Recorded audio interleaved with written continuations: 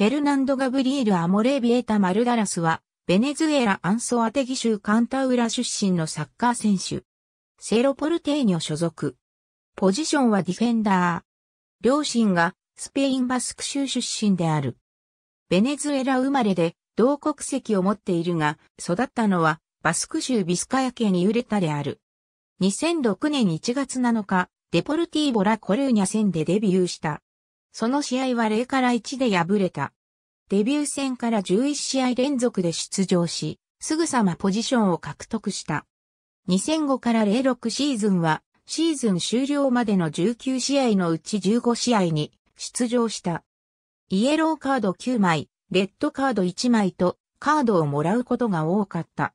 2006から07シーズンは中盤戦20試合連続フル出場するなど27試合に出場した。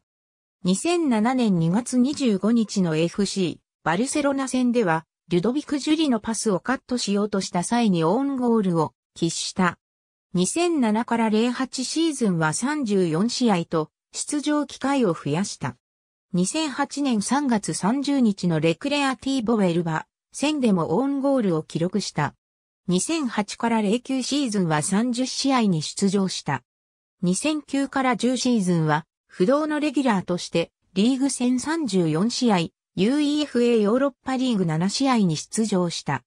2011年12月4日の RCD マヨルカ戦で念願のゴールを記録し、2011から12シーズンは、このゴールを含む3得点を記録した。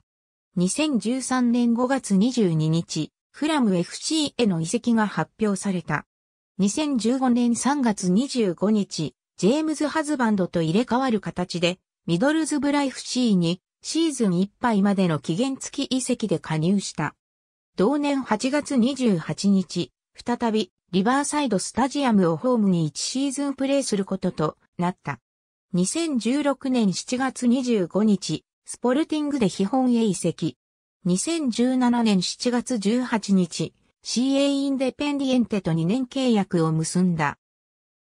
2019年1月14日、セロポルテーニョへ移籍した。ほとんどのスペインアンダー代表に選出された。2008年8月20日のビセンテ・デル・ボスケ監督初采配となるデンマーク戦にアンドニ・イラオラやディエゴ・カペル、ボージャン・クルキッチなどと共に初招集されたが、出場はならなかった。2007年6月、バスク代表としてベネズエラと対戦した。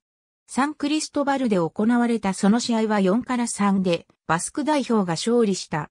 ポリデポルティーボ・デ・プエブロヌエボの増席後初めての試合だった。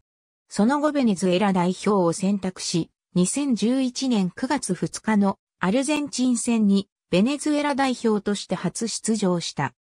同年10月11日の 2014FIFA ワールドカップ南米予選のアルゼンチン戦で代表初得点となる決勝ゴールを挙げた。ありがとうございます。